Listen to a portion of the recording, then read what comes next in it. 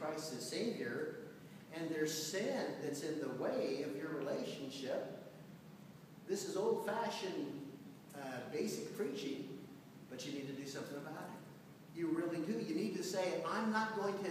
I'm not going to dabble with this. I'm not going to just kind of go through the motions. I might have even confused a few people. Somebody might even think that everything's fine, but I know that everything is not fine. I will even tell you this that when I'm preaching a message like this, especially on a Sunday night, I often have a, there's often that concern that some of the ones who maybe aren't here are the ones that need to be hearing this message. Amen? Amen. And I can tell you that it is true. Not only will uh, sin keep you away from the book, the Bible, right.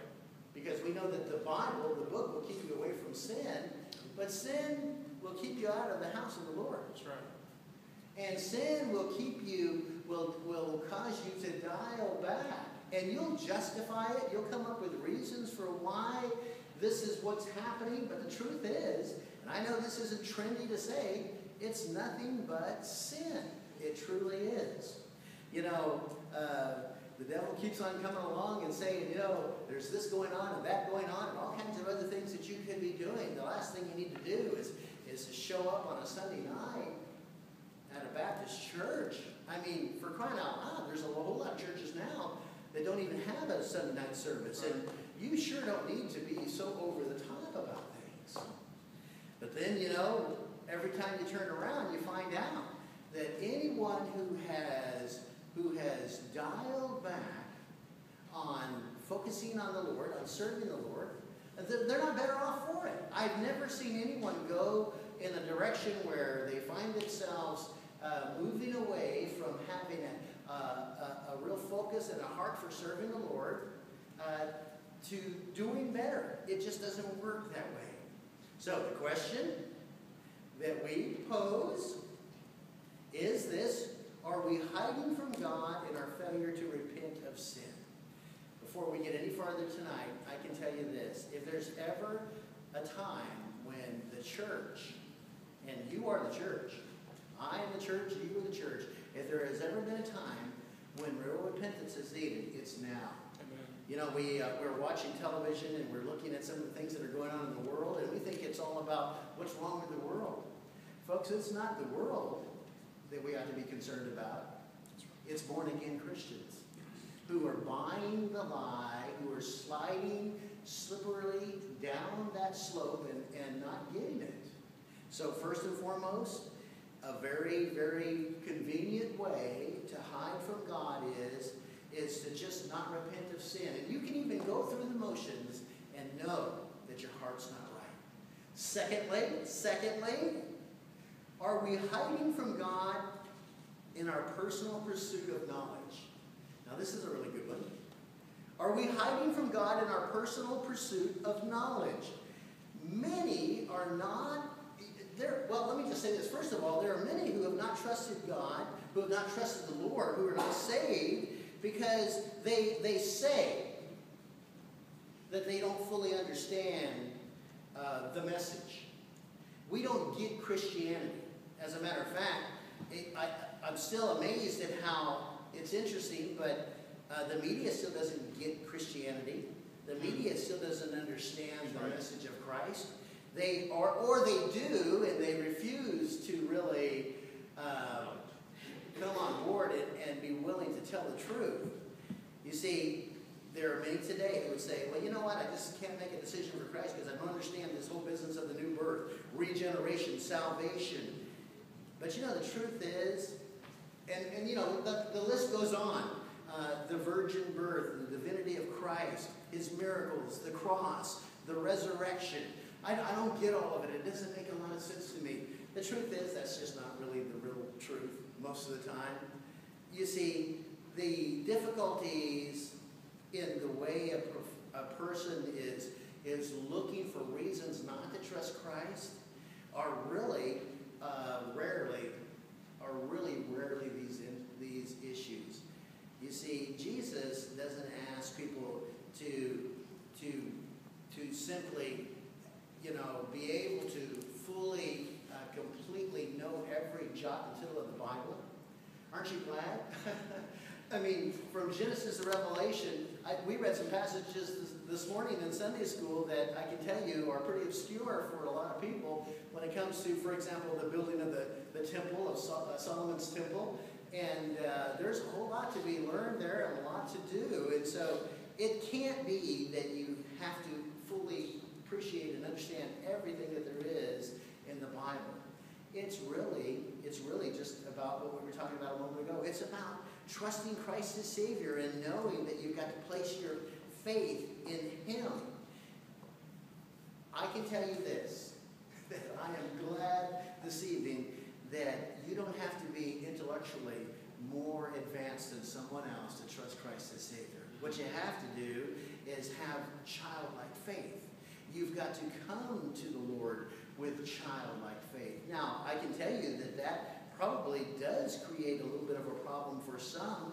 The truth is, though, they use it as an excuse. Well, I just can't believe that it's as simple as simply praying a prayer. Well, it's not as simple as simply praying a prayer. It's as simple as fully trusting the Lord and knowing that when you place your trust in Him, that you now are letting go of self and letting God be on the throne. I love what Job says, Job 13, 14. Though he slay me, yet will I trust in him. What a verse. What a verse. Think about that. I mean, uh, you know, it, all through the scriptures we see this. We see an attitude of full commitment to the Lord. And if the Lord should decide to just completely uh, turn his back on us, we will fully trust him and so be committed to him that whatever he does, he has every right to do. I mean, think about what Job is saying. Though he slay me, yet will I trust in him. Kind of reminds me of Shadrach, Meshach, and Abednego. Yep, yep. You know, first of all, I just like to say that, don't you? Shadrach, Meshach, and Abednego, even though those, those are not the Jewish names, we see that that that a commitment to, in the whole story we see uh, a, a commitment to trust the Lord fully, and even even if uh, uh, one should perish in this in this in this fire, I am going to trust the Lord. Do we understand what what we're really saying? We're saying that it's not about it's not about outcome. It's not about uh, results. It's not about, okay, I, I'm, I'm going to enjoy this or that. It's about just saying, I've placed my confidence and trust in Jesus Christ. I am fully looking to Him, and that's it. That's all there is to it. That's it, said and done. Though He slay me, even if the Lord allows for everything bad to happen that can happen to me to happen, yet will I trust Him. You see, when we get to a place when we even get near that place, God can do big things. No doubt about it. I've seen it happen over and over and over again in ministry. You know, for some of us who have been involved in, in preaching and teaching and, and involved in ministry for a number of years, uh, some of us have come to the conclusion that, you know what, maybe it's true. Maybe uh, we won't have the largest church in America. Maybe it's, it's true that we'll not see, you know, thousands and thousands and thousands saved on some national, you know, Christian radio program or television program or something. But you know what? I can tell you something. When a person gets to a place where they say, I'm just going to serve God and I'm going to trust Him and I'm going to look to Him and, and I'm going to be thankful that I get the opportunity just to preach and to teach or, or whatever ministry the Lord might have for me, that, that's, a, that's a very important place to be. I still, when I think back uh, years ago and I had the opportunity to preach for the very first time and in, in rescue missions and convalescent homes and, and uh, out in little bitty churches along the Salton Sea in Southern California, I used to go home and weep and be so thankful that I had the privilege Amen. to do this. got to tell you something. What happens to us when we get beyond that? What happens to us when we think we deserve more? There ought to be more. We ought to receive more accolades and attaboys. I'll tell you what, what we need to be able to get back to is though he may slay me, though he slay me, yet will I trust him. Wherever he may put me. I was I gotta tell you something. I want to see that um, the fifth video. We didn't get a chance to show that in Vacation Bible School, but I was moved by these missionaries. These missionaries who are on the back side of the planet. Uh, we had one missionary way up in Alaska, way, way, way away from everybody. And uh, and, and by the way, they, they showed a box of Cheez-Its up there in Alaska. How much were those Cheez-Its? Like $15 for a box? Now, you know I like Cheez-Its, that's a lot of money. And here, here, here are these, this family, this, this, this man, called of God, his wife and his children out on the backside of the planet saying, you know what, no matter what happens, I will trust in him I will trust in him because there are people here that need to hear the good news of Jesus Christ.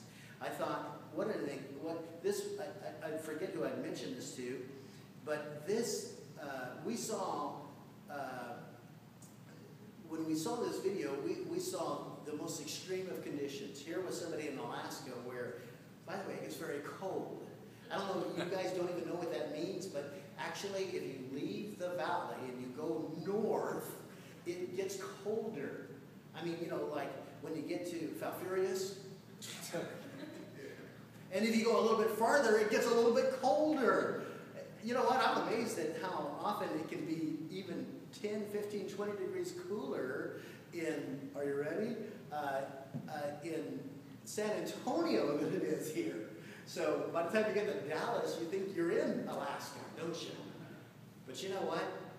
We don't know what cold is. When we think of the extreme conditions uh, that these missionaries live in, it's amazing. And, and the complete, uh, it, it, it, uh, I mean, that's one extreme. Some of us were able to visit with a missionary who for the last 14 years is, is living the other extreme where the temperatures are anywhere from 100 to 115 degrees, where one minute it's, it's, it's sunny and bright, the next moment the clouds come rolling in and flash floods hit during the monsoon and, and huge dust storms uh, come, uh, both, uh, you know, come through. I'm telling you, there has to be times when Pastor Yazzie must say, though he may slay me, that's right. Yet will I trust the Lord. That's right. Will I trust him during those tough times? Why? Think about that. Quickly, quickly. Thirdly, are you hiding from God in your church activities? Wow. Are you hiding from God in your church activities? Can I tell you, first and foremost, I'll tell you, it's better to serve with the wrong heart than it is not to serve at all. Now, some would say, look, if your heart's not right, you should not uh, to serve.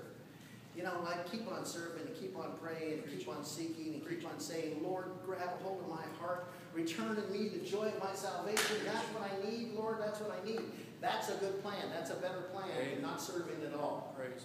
And the reason why I say that is, is Satan will come alongside and say, you know what? Your heart isn't 100% right. And so you might as well just not show up on Sunday night, or you might as well dial back in this ministry or that ministry. And you know, uh, it's okay because you know your heart wasn't right anyway. I can remember, and I know that Will Ashley remembers this situation, and this was a few years ago. Please don't try to figure out uh, anything other than this. We had someone say to us, "You know what? I don't want to be a hypocrite. Mm. My heart's not right, so I won't be here tonight." My friend, you show up and you you dare the Lord to do something to your heart. And watch what will happen.